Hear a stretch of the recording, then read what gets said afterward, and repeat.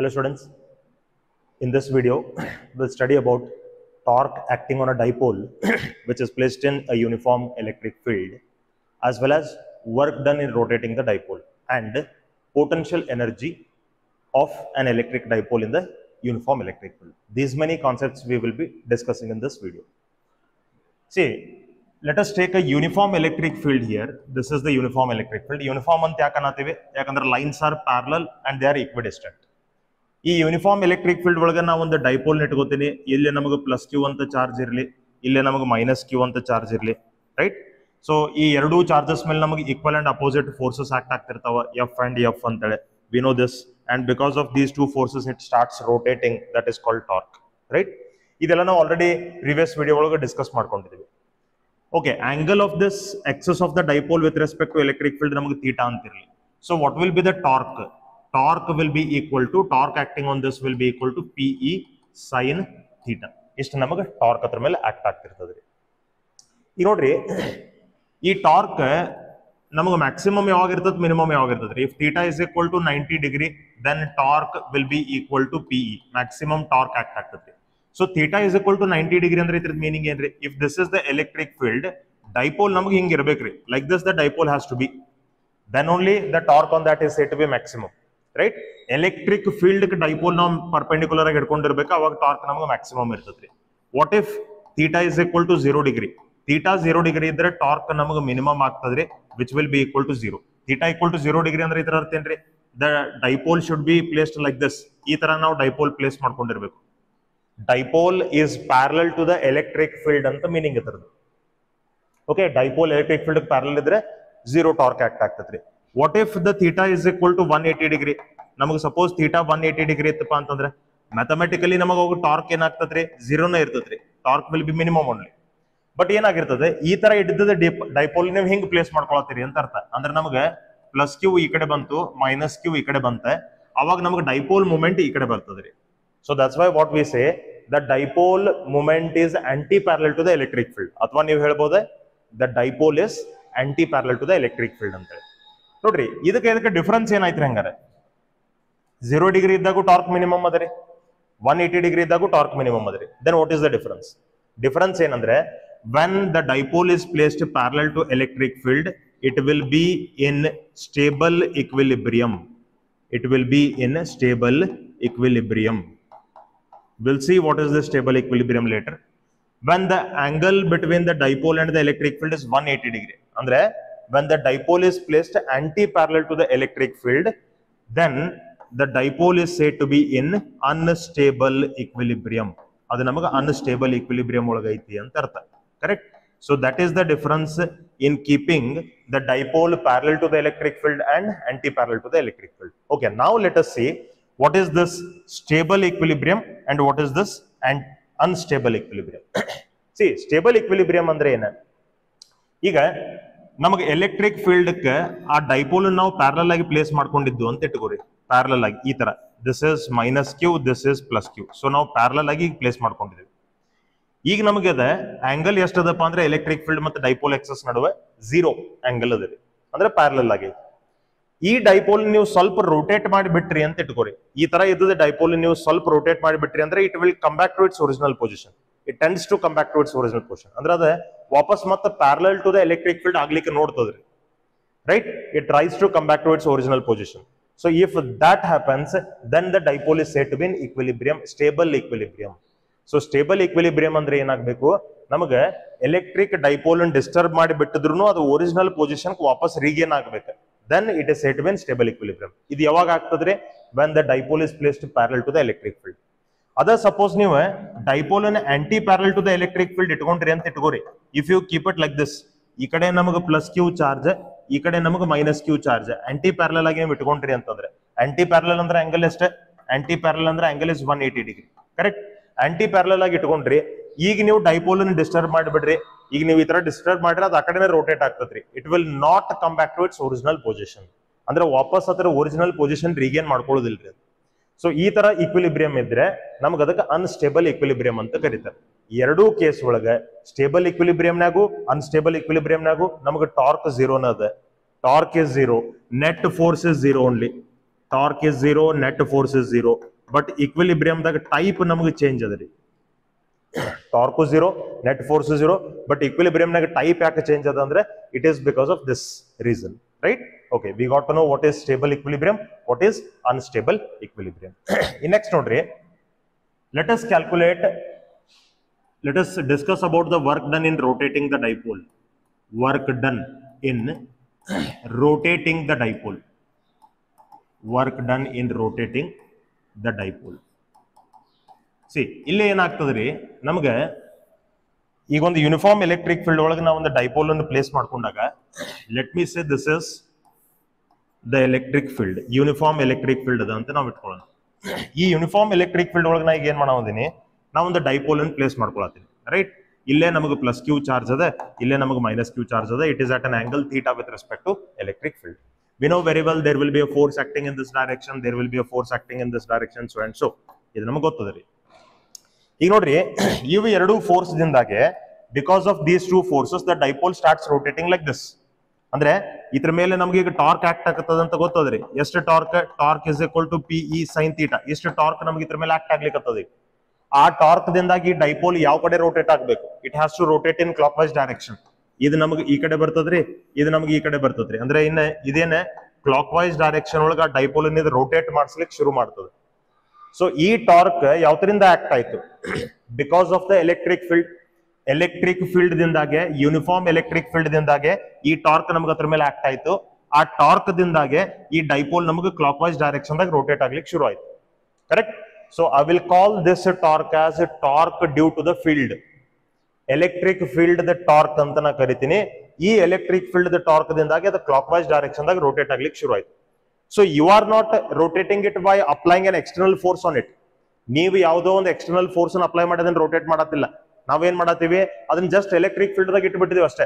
ಒಂದು uniform electric field ದಾಗ ಇಟ್ಬಿಟ್ಟಿದೀವಿ.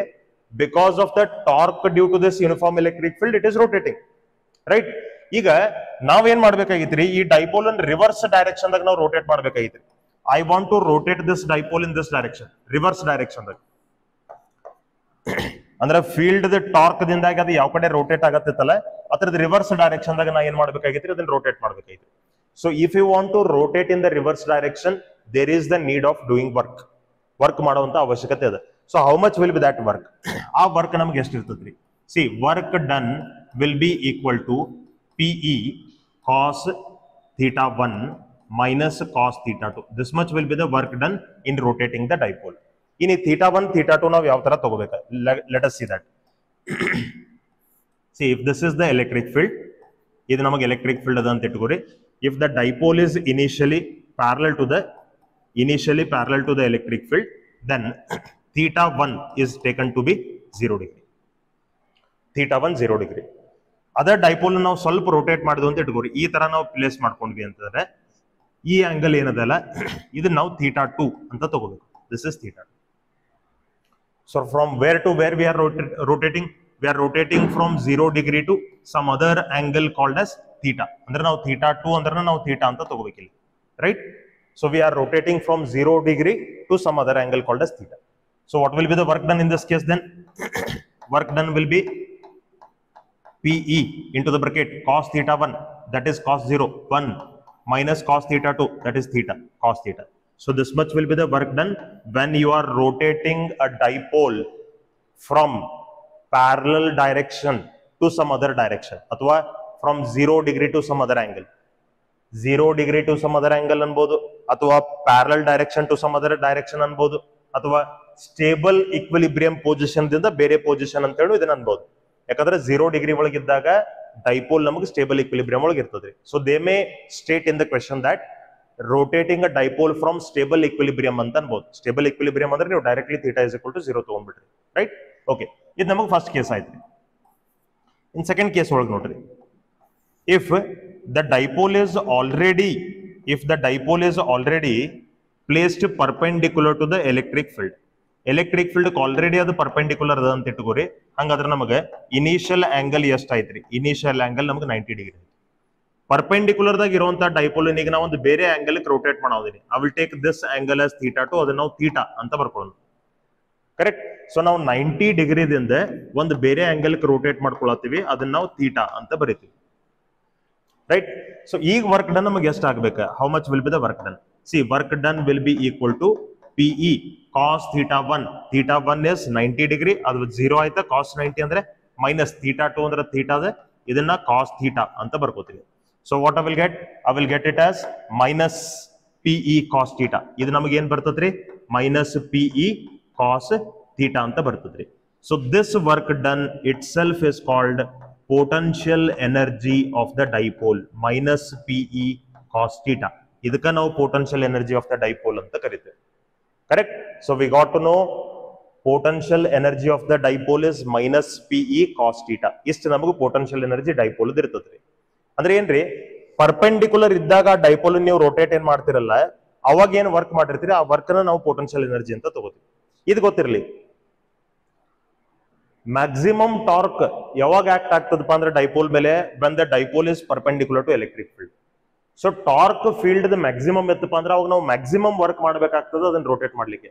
ಆ ಮ್ಯಾಕ್ಸಿಮಮ್ ವರ್ಕ್ ಡನ್ ಅನ್ನ ನಾವ್ ಏನಂತ ಕರಿತೀವಿ? ಪೊಟೆನ್ಷಿಯಲ್ ಎನರ್ಜಿ ಅಂತ ಕರಿತೀವಿ. ಕರೆಕ್ಟ್ ಸೊ ಇನ್ ನೋಡ್ರಿ, ಇನ್ ಮುಂದ್ಗಡೆ ನೀವು ಡೈಪೋಲ್ ಅನ್ನ parallel to the electric field ಇದ್ದಂತ ಡೈಪೋಲ್ ನೀವು ರೋಟೇಟ್ ಮಾಡೋರಿದ್ರೆ ಈ ಇಕ್ವೇಶನ್ ನೀವು ಯೂಸ್ ಮಾಡ್ಬೇಕು ವರ್ಕ್ ಡನ್ ಪೊಟೆನ್ಷಿಯಲ್ ಎನರ್ಜಿಗೆ ಈ ಇಕ್ವೇಶನ್ ಯೂಸ್ ಮಾಡ್ಬೇಕು.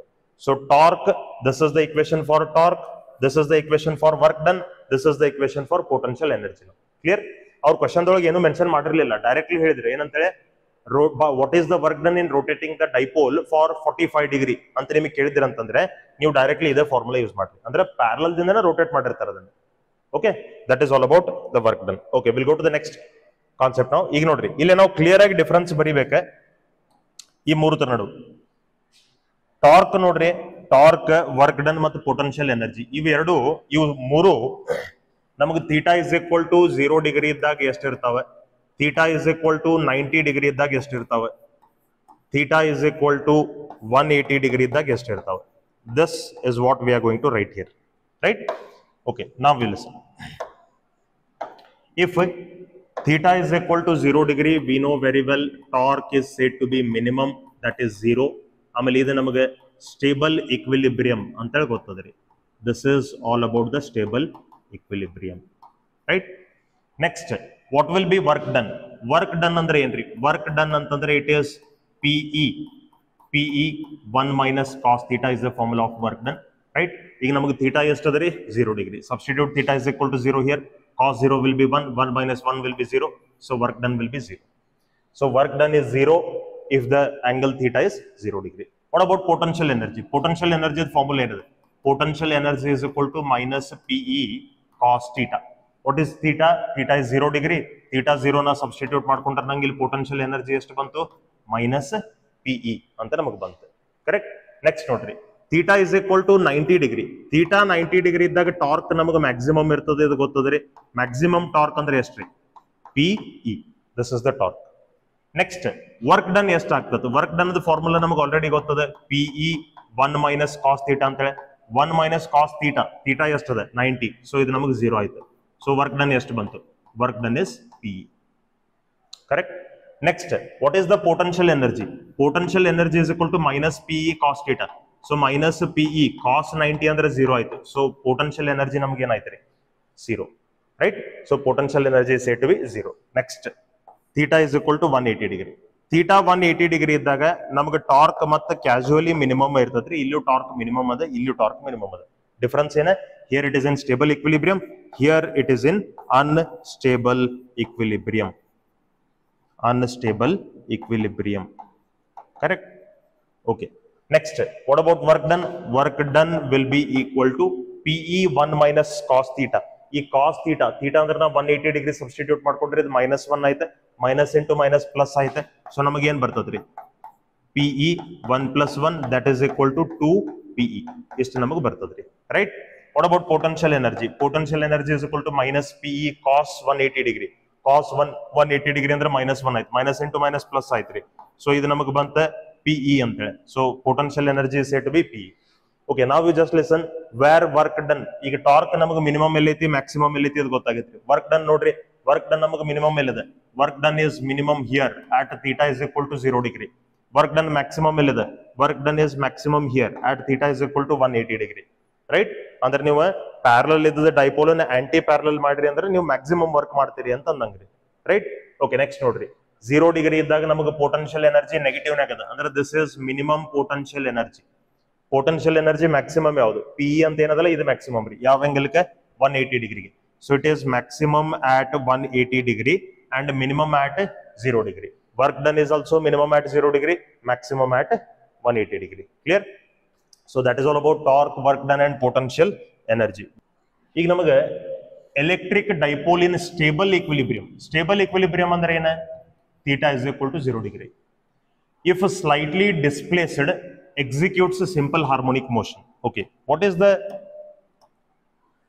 the given here ಇದು ಒಂದು ಎಲೆಕ್ಟ್ರಿಕ್ ಫೀಲ್ಡ್ ಅದ ನಮಗೆ ಯೂನಿಫಾರ್ಮ್ ಎಲೆಕ್ಟ್ರಿಕ್ ಫೀಲ್ಡ್ ಈ ಯೂನಿಫಾರ್ಮ್ ಎಲೆಕ್ಟ್ರಿಕ್ ಫೀಲ್ಡ್ ಒಳಗೆ ನಮಗೆ ಏನ್ ಮಾಡಿದಾರಪ್ಪ ಅಂದ್ರೆ ಒಂದು ಡೈಪೋಲ್ ಇಟ್ಕೊಂಡಿದ್ದಾರೆ. ಆ ಡೈಪೋಲ್ ಇಸ್ ಪ್ಲೇಸ್ಡ್ ಇದು ನಮಗೆ plus q this is minus q ಈಗ ನಮಗೆ ಅವ್ರು ಏನ್ ಹೇಳಿದಾರೆ? ಈ dipole is placed in stable equilibrium ಅಂತಾರೆ ಸ್ಟೇಬಲ್ ಇಕ್ವಿಲಿಬ್ರಿಯಂ ಅಂದ್ರೆ ಏನ? It has to be parallel to the electric field ಈ ಪೊಸಿಷನ್ ನಾವು ಸ್ಟೇಬಲ್ ಇಕ್ವಿಲಿಬ್ರಿಯಂ ಪೊಸಿಷನ್ ಅಂತ ಕರಿತೀವಿ. ಮೈನಸ್ ಕ್ಯೂ ಪ್ಲಸ್ ಕ್ಯೂ ನಾವು this is it win stable equilibrium stable equilibrium ಒಳಗೆ ಇರುವಂತ ಈ ಡೈಪೋಲ್ ಅನ್ನ ನಾವು ಡಿಸ್ಪ್ಲೇಸ್ ಮಾಡಿಬಿಟ್ವಿ ಅಂತ ಇಟ್ಕೋರಿ. ಇಫ್ ಐ ಡಿಸ್ಟರ್ಬ್ ಇಟ್ ಇದನ್ನ ಮೇಲ್ಗಡೆ ಎತ್ತಿ ಬಿಟ್ನಿ ಅಂತಂದ್ರೆ ಇಟ್ ಸ್ಟಾರ್ಟ್ಸ್ ಆಸಿಲೇಟಿಂಗ್ ಈ ತರ ನಮ್ಗೆ ಅದು ಆಸಿಲೇಟ್ ಆಗ್ಲಿಕ್ಕೆ ಶುರು ಆಗ್ತದ್ರಿ. ಓಕೆ ಡೈಪೋಲ್ ಜಸ್ಟ್ ನಮಗೆ ಈ ತರ ಇತ್ತು. ಇದನ್ನ ನಾವು ಡಿಸ್ಟರ್ಬ್ ಮಾಡಿದ ಕೂಡಲೇ ಅದು ನಮ್ಗೆ ಏನಾಗ್ತದ್ರಿ? It starts executing simple harmonic motion like this right so ಆ ಸಿಂಪಲ್ ಹಾರ್ಮೋನಿಕ್ ಮೋಷನ್ ಅದೇನು ಎಕ್ಸಿಕ್ಯೂಟ್ ಮಾಡ್ತದಲ್ಲ, ಆ simple harmonic motion time period ನಾವು ಕ್ಯಾಲ್ಕುಲೇಟ್ ಮಾಡ್ಕೊಳ್ಳುವಂತ ಸಿಚುವೇಶನ್ಸ್ ಬರ್ತಾವ್ರಿ ಕ್ವೆಶನ್ಸ್ ಒಳಗೆ. ಸೊ ಆ ಟೈಮ್ ಪೀರಿಯಡ್ ಫಾರ್ಮುಲಾ ನಮ್ಗೆ ಏನಾಗ್ತದೆ? Time period is equal to two pi root of I divided by P E so this is the equation formula to calculate the time period of S H M of the dipole in uniform electric field okay in next ನೋಡ್ರಿ. ಇದ್ರೊಳಗೆ I ಅಂತಂದ್ರೆ ಏನು? I means this is called moment of inertia moment of inertia okay what is moment of inertia formula moment of ಇನರ್ಷಿಯಾದ formula ನಮ್ಗೆ ಏನಾಗ್ತದ್ರಿ? M L square divided by twelve ಅಂತ ನಮಗೆ moment of inertia formula ಅದ ರೀ. M L square by twelve ಅಂತಂದ್ರೆ ಏನ್ರಿ? ಈಗ ನೋಡ್ರಿ moment of inertia of a linear body uniform linear body ಅಥವಾ ರಾಡ್ ಅಂತ ನಾವು ತಗೊಂಡಾಗ ಈ ತರದ ನಾವು ಫಾರ್ಮುಲಾ ಯೂಸ್ ಮಾಡಿದ್ವಿ. So same thing we are using because this also linear body moment of ಇನರ್ಷಿಯಾದ formula in P ಅಂದ್ರೆ ಏನ್ರಿ? ಡೈಪೋಲ್ ಮೊಮೆಂಟ್ ರೀ. ಇ ಅಂತಂದ್ರೆ ಏನ್ರಿ? ಯೂನಿಫಾರ್ಮ್ ಎಲೆಕ್ಟ್ರಿಕ್ ಫೀಲ್ಡ್ ಇವೆಲ್ಲ ನಮಗೆ ಗೊತ್ತಿರ್ತವೆ is the equation to calculate time period of S H SHM of a dipole which is executing simple harmonic motion in uniform electric field. So that is all about the concepts related to dipole, torque acting on the dipole, work done in rotating the dipole and potential energy of the dipole. We'll see the further concepts and the MCQs in the next video. Thank you and keep watching.